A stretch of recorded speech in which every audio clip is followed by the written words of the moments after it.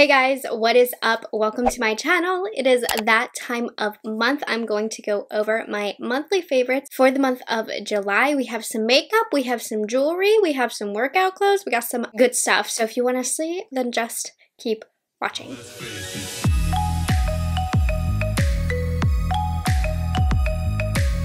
First and foremost, I just want to thank Ana Luisa for sponsoring this portion of the video. For the last couple of months, I have been featuring different jewelry lines. In the last year, I've really gotten into more boutique small business jewelry brands. Before, I was just buying a lot of jewelry from fast fashion places and the jewelry was breaking all of the time. They are a New York-based jewelry company. And as I was looking into their company, what's really cool about the brand is their sustainability. One fact that they sent through to me me. It takes 20 tons of earth mining to produce a single ring of gold, and cheap jewelry is rarely recyclable, making it a huge waste. So Ana Luisa actually uses 100% recycled gold and silver for their pieces, so that is amazing. And apparently, their quality comes from the same jewelers as Tiffany and Louis Vuitton. I'm just saying. They do also offer complete complimentary one-year warranty on their pieces. Their prices for what they are are definitely run pretty good. They have a range starting from $49. They do have some finer jewelry as well. That's gonna cost you a little bit more. Anyways, let me show you the pieces. I've been wearing them throughout my recent videos. You guys have been asking. I have all of the necklaces layered, but I actually chose a necklace set. So it's gonna be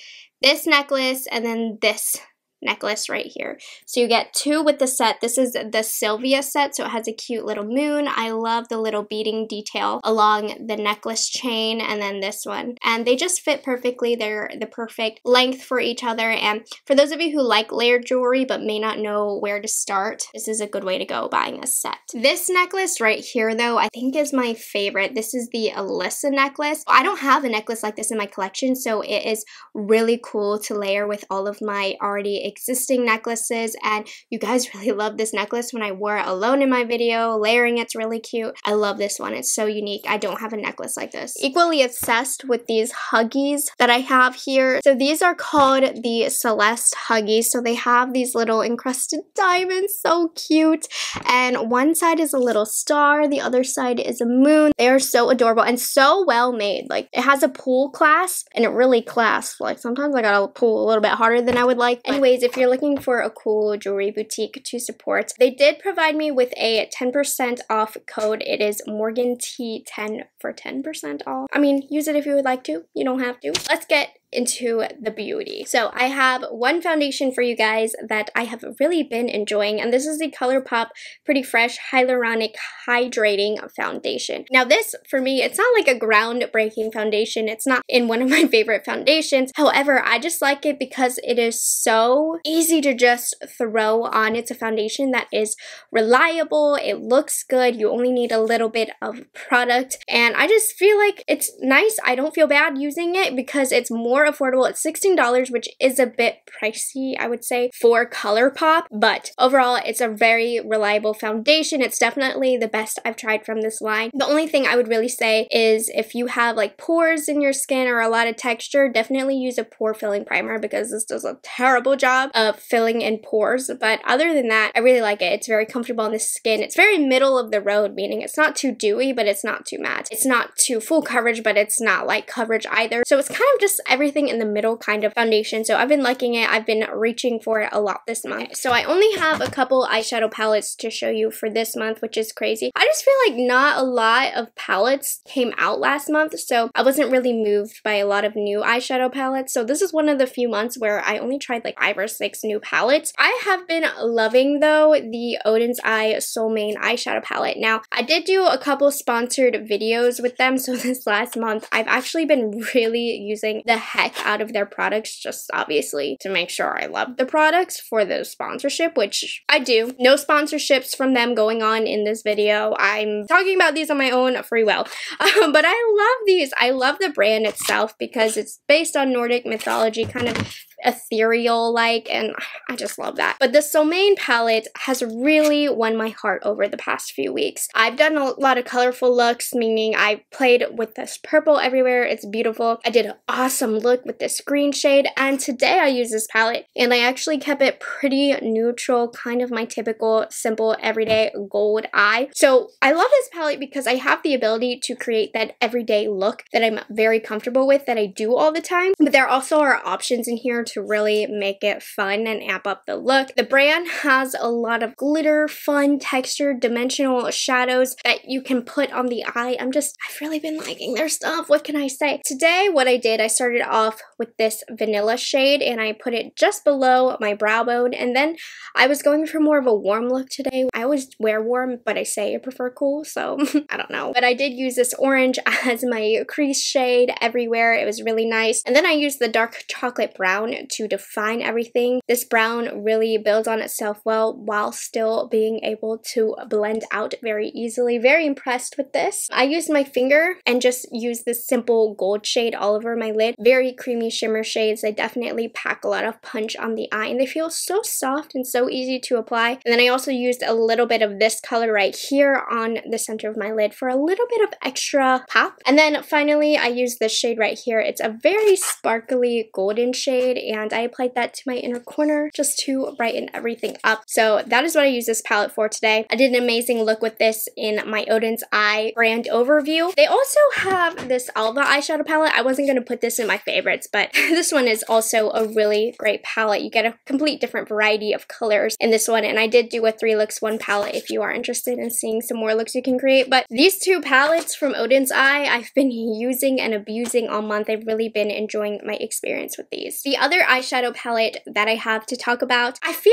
weird bringing this back up again, but the Natasha Denona Bronze. So actually, this came out at the end of the last month, so I didn't feel like I had it long enough to justify putting it in that month's favorites because it came out like just before that. I've talked about this a lot. I've done a three looks one palette. I've talked about how much I love it already, but it didn't feel right not to put it in my favorites because it didn't quite get the chance to make it last month. Obviously, I've had it for a month and then some, and I really do love this palette. It's colors that I'm very comfortable with. The only thing that I would say that I don't like about this palette is that you are kind of limited-ish in the looks that you can create. I feel like the three looks one palette video that I did, the looks were kind of similar, definitely in the same tone, and that's okay because I do really genuinely enjoy the color story of this palette. The quality of it's amazing, but you are limiting yourself to only bronzed looks. So if bronze isn't your color, then this isn't your palette. Of course, I do love bronze, gold, neutral eyes, so I have been liking this palette a lot. I love all the colors in here. They're great quality. I've talked about this palette enough, but I really like it. Oh, I forgot to show you guys this eye primer before I talked about eyeshadows. I've been using the Kaleidos Tone Activator Eye Primer for quite some time now, and I really like it because it's so lightweight. Now, I don't have a problem with wear time on my eyelids. I find that shadows last pretty long on my eyes, so that's not a concern of mine. But I love this because it's so thin. It's a little bit watery, so that does cause kind of a mess in the tube itself because it just falls out everywhere. Don't squeeze this because so much product comes out and you only need a little bit. So I just kind of, when I open it, rub whatever's on here on my eyelids and a lot of times that's still too much. But what I like about it is it's so thin. It doesn't feel like thick like a MAC paint pot does on my eyelid. It still has just a touch of coverage to cover the veins on my eyelid and I just think shadows blend on it fine. I love how it easily it spreads over the eye but gives you just a little bit of coverage. So this is the eye primer that I've been using for a while now and I've really been enjoying it. If you look in my description box. I've literally been wearing this bronzer every opportunity that I could. And this is the Gucci powder bronzer. She's really expensive, but oh, so worth it, worth every penny. Now, I did have a bit of a struggle finding the perfect shade for me because their shade range straight up was whack. They did not do a good job that was easy for a consumer to understand their color range. I started off with the shade 2, and shade 2 is crazy dark. Shade 3 is actually lighter than shade 2. If you want the comparisons between shades 1, 2, and 3, check out testing new makeup products video that I did. I swatched all three so you could see, but alas, shade shade 1 is my favorite. I've been using it nonstop. So this is a scented product, but I love it. It just smells so luxurious to me. So that for me is part of the experience. As soon as I open it up, it begins with the scent, which I love. And then when you apply it, this is what I'm wearing. It's just so smooth. The number one is a very good color on me. It's a little bit more cool or like pink than I would prefer, but it blends out beautifully. The quality is fantastic, and if I do want a little bit more warmth, shade 3 adds some goldenness. That's in my mom's collection, but if I do want to change up the tone a little bit, but overall this has been a really great everyday bronzer, and I think with the sun being out, my skin naturally turns a little bit more pink, so the bronzer isn't as unflattering as I thought it would be. This bronzer is the bomb, you guys. I love it. And then blush, again, this is another one of the products that kind of came out a few days before I filmed my favorites, so I didn't quite yet want to pop it in there, but the Patrick Ta, She's That Girl Cream and Powder Blush Duo, ooh, I love this. He did restock on his other colors. I decided to wait until a Sephora VIB sale to pick up the other colors that I want because I do love this product so much that I want to pick up more colors,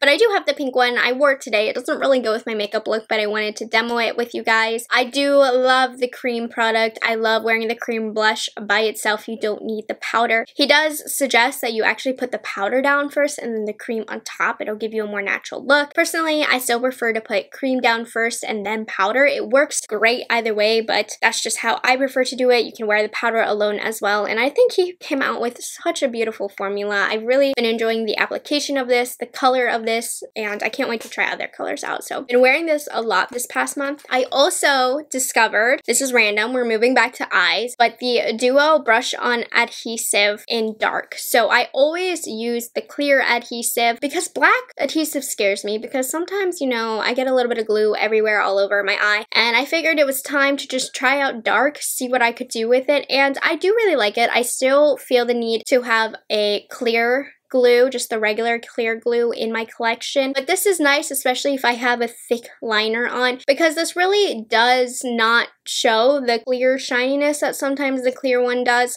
have. So if I'm wearing a pretty thick black liner, I'll use the black because it is more imperceptible on the lash line when you put false lashes on. So I've been liking this. Thought I'd throw that in there. It's a new kind of thing that I've tried out. Setting spray. I hate to admit it, but man, I am loving the Charlotte Tilbury Airbrush Flawless Setting Spray. I do have a drier skin type. This is not a moisturizing setting spray. It actually like sets your makeup. It's crazy. I was actually watching Wayne Goss's video on this and it's crazy. He sprayed his hand with this, he put a shadow on top and then he sprayed his hand with this again and the shadow was not budging. It's crazy. This actually really like it sets your makeup you guys. I don't use it on my skin first, apply makeup and then spray it again because I feel like that's way too drying on my skin. I, I don't like that. But even when I spray it after my makeup is done, I do feel it setting. Like your face feels a little bit tight. Not uncomfortably so, but it's, it's kind of satisfying because it feels like it's working. I do feel like it makes my makeup last longer and it also almost kind of finishes my skin, smooths it out a little bit, ever so slightly because it is a spray at the end of the day. But this does something with my makeup and I really, really like it. So this is my new like event night out kind of setting spray and I love the scent of it as well. Wayne did not like the scent of this. I think it smells really nice. I like it a lot. So Oh, this is so good, you guys. I normally like a more moisturizing, set my makeup in kind of setting spray, but if I want to keep my makeup on, she is so good. A couple of lip products that I've been loving. So again, back to Oden's Eye. I'm so annoying. I just really have been enjoying their products. But they're matte lip stains, you guys. If you are a mask wearer, these are amazing. So there are six shades. I don't know why I only have five. But if you want to see a lip swatch of all of these, check out my full brand review. I do put these on my lips. They're a lip stain. They kind of give that blurred lip effect. You're not going to get like a liquid lipstick effect with these. And even though they're matte, they're not too drying. But what I like is you only need the tiniest bit of product to apply to your lips. You use your finger to blend it out. And it does give that blurred look. But if you're wearing a mask, nobody can see it. And it doesn't transfer onto the mask, which I find crazy. Of course, if you layer a super thick amount on, it will give a little bit of transfer. But if you're looking for something to give your lips a nice tint so you don't look crazy when you take your mask off, that's going to stay and that is also going to not transfer onto your mask. I really recommend these a lot. I don't wear makeup with my masks. I try not to as much as I can, but obviously times have come where I had makeup on and I need to throw a mask on and these have been amazing. I think if we didn't live in the world that we lived in today where we didn't have to wear masks, I don't know that I would have loved these as much, but just given the current climate, those are really good. Those are gems for me. I've also been really into these Maybelline Super Stay matte inks. I have two colors. This one is Chai Genius and then Caramel Collector. I'm currently wearing Caramel Collector. So these are from their coffee collection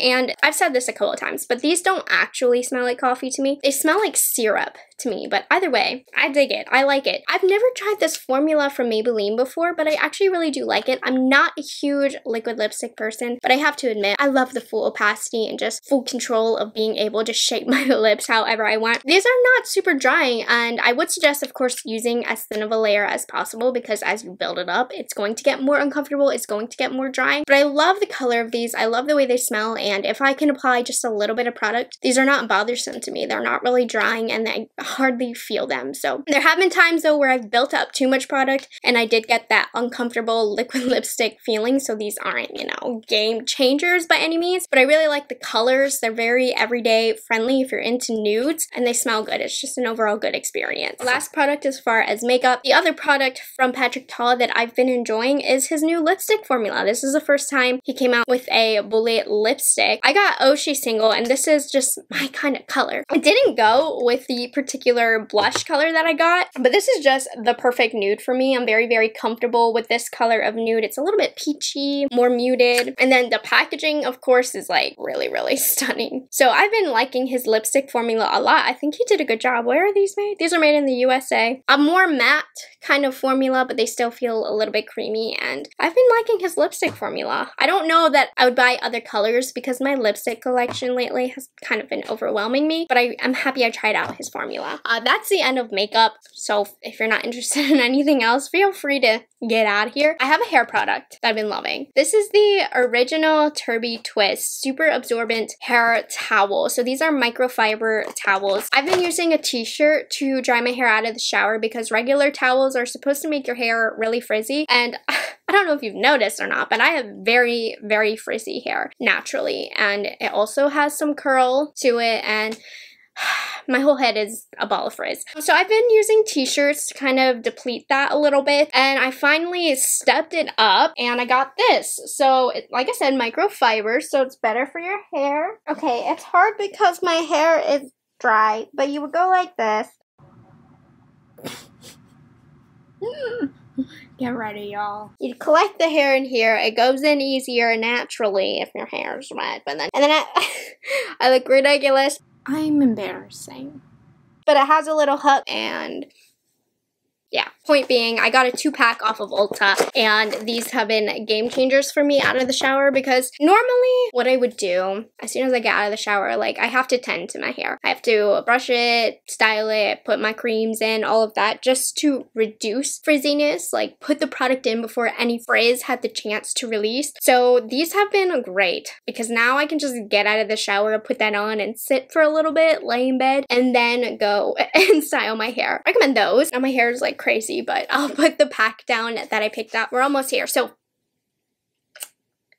I've been buying so much workout wear, it's quite embarrassing. I've had the same workout wear since I was literally a freshman in high school. Like I'm wearing the same workout clothes that I wore to field hockey practice. uh, so I've completely revamped my workout wear just because one, to motivate me for at-home workouts since there was no more gym. Uh, I got a Peloton. I wanted some cute Peloton outfits that nobody would see me in. So Fabletics, life-changing for me. So I got this super cute maroon set. It's in the wash, but I'll show you a picture of it now. Love it. Super cute. What I love most is that they have length for the leggings. I am only like 4'10". So legging lengths is huge for me and their length is good. And then this maroon set is just adorable. I also got this set of bra tops. They're sports bras. So this first one is like a cami bra tank. For those of you who are members this month, from what I've seen, I don't know if it's still available, but they do have this same bra set, but in different colors. So this is a pink one and you don't need to wear a sports bra with it because this is the sports bra and it's really cute and flattering. And I mean, I have very small chest, but this does a good job of keeping it in and has adjustable straps. I'm a small girl, so adjustable straps are always the move for me. And then this one is super cute. Now, this is a halter top. I love this. Now, I can't work out on this because the girls would be like showing to everybody just the way that this is. However, it's so cute. I've been wearing it just like day to day, not even as like a sports bra, just a cute outfit. So that's my Fabletics order this past month that I've been wearing. If you would like to join Fabletics, I say this every time, but make sure you make your biggest order when you become a member because the deals that you get there are the best and you won't get them ever again. I will have my referral linked down below. I do get, what do I get? I think they send me like a small gift card to use and uh, if you want to help a PE teacher get a new outfit, even though I'm not going into school this year, then I would appreciate it if you go through my link. Okay, anyways, that is all I have for today's video. Thank you guys so much for watching. If you aren't subscribed to my channel already, I would love it if you would consider taking the time to do so. Thank you, Ana Luisa, for collaborating with me on this video. Like I said, if you do pick anything up, I do have that code for you. Don't feel obligated to use it, but just take a look at the website. I mean, sustainability, good quality products, super cute. You'll love it. Okay. Bye, guys. I will see you in the next one.